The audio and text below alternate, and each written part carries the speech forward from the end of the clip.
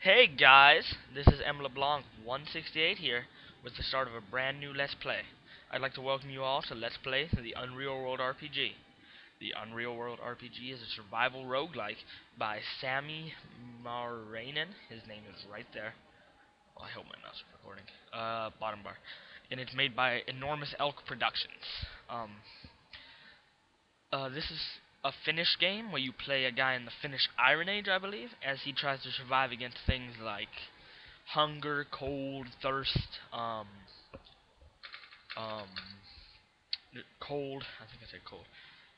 Bandits, and like it's really realistic. Uh, the only other game I could compare to it that I've played is like Haven and Hearth, but this is a bit more realistic than Haven and Hearth. But they are really similar similar games, and uh the graphics might not be the best. It is a roguelike, but it's an awesome game that I found a while ago, and um, I've been having a lot of fun with it. So we're gonna create a new character. We're gonna do it custom. Oh, you might find that I sound a bit different. I have a new microphone. It's a headset mic. So I'm going to test this out for a couple videos, make sure it's right, make sure you can hear the game sound, because I still have to record the game sound off speaker. Um, but just making sure that's right. So character name, we will be M. M. LeBlanc. Doesn't like that name. Uh, uh, just plain LeBlanc. There we go. So that's our name. We're going to be LeBlanc. Now we have to pick our culture. In this game, there are nine cultures. Uh, I think at the beginning, I'm not 100% sure, but I think they start with different skill bonuses, like the um Camu Lo th these people that I can't pronounce their names, Cam Keumo Lanen, they get more strength. The Owl tribe start with more um survival skill. The Islanders have better fishing. I'm gonna be an Owl tribe because I like having the bonus to survival at the beginning, which I think they get. So there.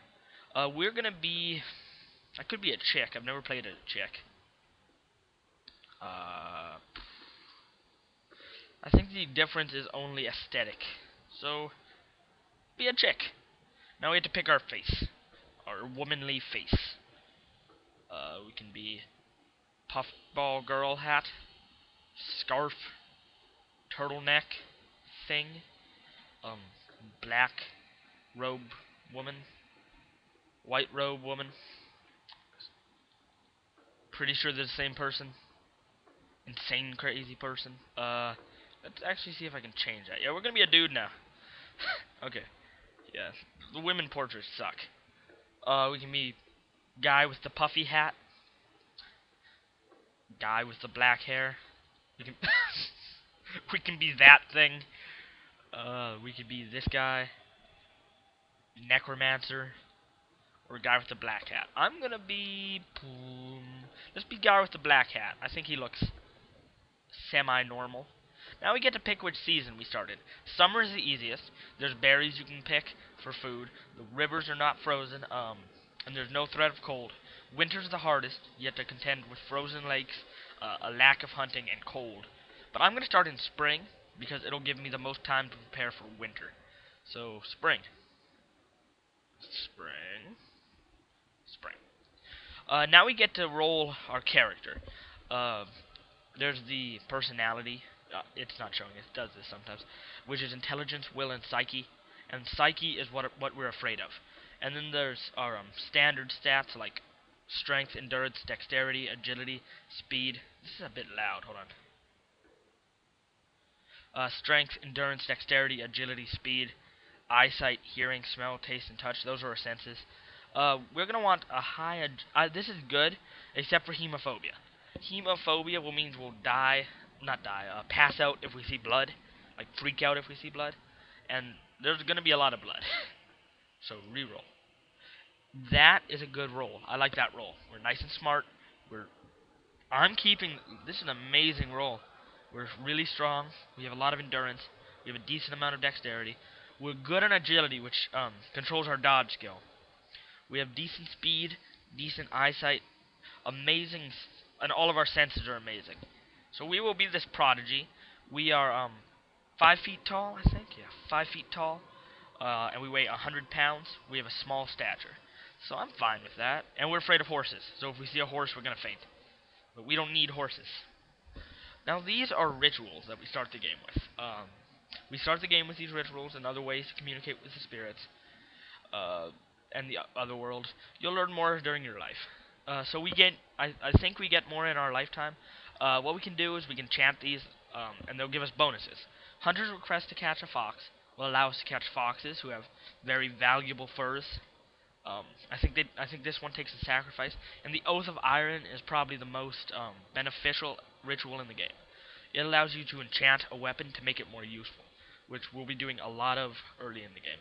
So we can't alter this at all, so I'm fine with that.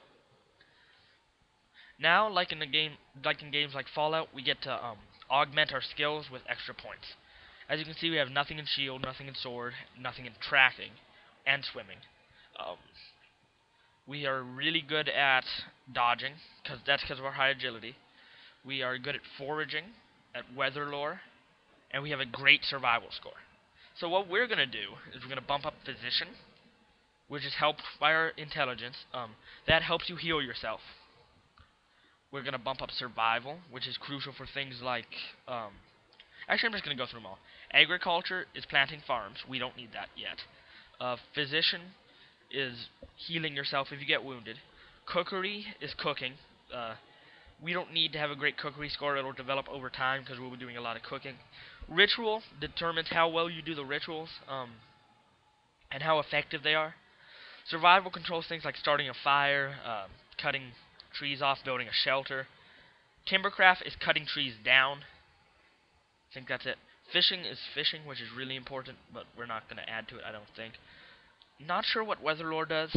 Carpentry is building houses and um, other wooden goods, but mainly houses.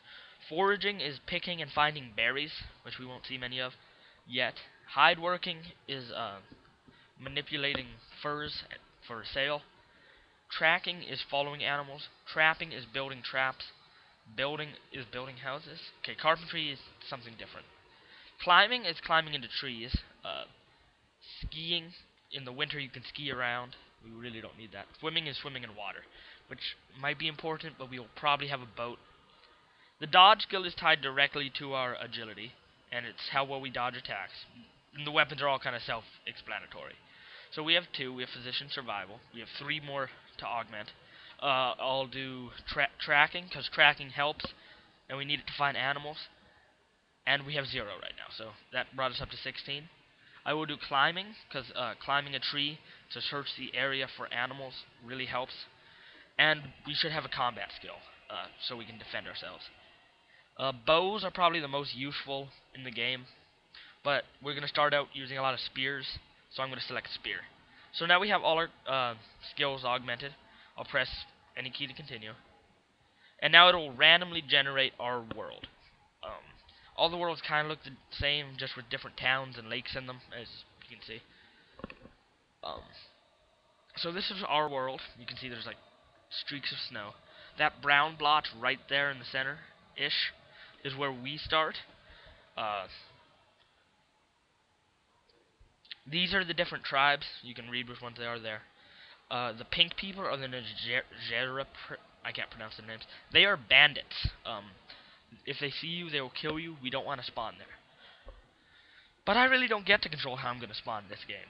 Um, I'm going to close my eyes right now, and I'm going to hit randomize R five times, and then I'm going to start it. I'm going to count to five, and um, I'm going to open them. So I'll have no idea where I spawn, so I won't be able to try to navigate down to the islands here, which are the most useful area in the game.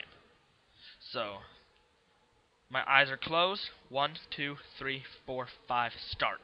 Now I'm going to count to five. And I have no idea where I am. I won't go back and watch this video to find out. I just have no idea. So now we get to pick which scenario we start in. Um, I'm not going to read them to you. You guys can read them. Uh, the hardest is uh, Hurt, Helpless, and Afraid, where you spawn the game in the middle of the wilderness with a random injury. It's even harder if you start in winter because you had to deal with your injury and the cold. Um, the easiest is by far I want to be a fisherman because you start with like a boat and a fishing rod, so you're pretty much set for food for the entire game. We're going to do the Unreal World, which is where you just spawn randomly in the world. Um, it's the most unguided of them all, and it'll just give us a chance to kind of do anything. So, it's my favorite. Um, I'll read this to you. At the age of 16, you've left your home and village. During your childhood and adolescence years, you have learnt the skills and ways of your people, until you decided it was time for you to go search for a path of your own, whatever it might be. Your journey took you far away, and the further you went, the more you learned.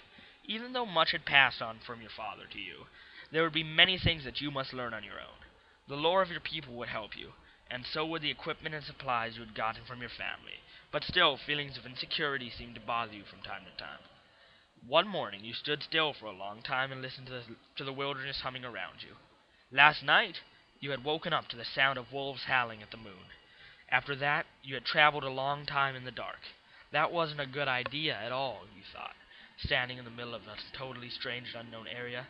Just as you felt over the past few days, you didn't know what you were doing or where you were headed. Your path was taking you somewhere, but exactly where was still to become clear to you. So yeah, see, it's unguided. Um, we can just do whatever we want. We don't start with any special bonafiers or um. That's that's a real word. We don't start with any special bonuses or uh, negatives, so we'll be fine with this one. Yes. Now we get to choose the um game course. The game course is um a series of goals we get. The Unreal World is unguided. You can do whatever. Living in the Wild is a tutorial where the game will have you do things like go get water, build a shelter, uh, make a fire, just basic things. And Advanced Adventures um, is a series of challenges for experienced players, things like hunt a bear, uh, kill a Najir as a, a, bandit. That's what I'm going to call them. I'm going to call them the bandits. But um, we're just going to do the Unreal World so we can have a kind of unguided LP experience. So let's start the game with the Unreal World. Press any key to continue.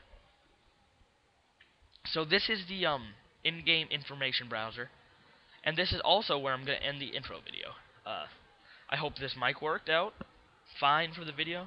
And I hope you guys are going to enjoy this LP. So see you next time. Bye.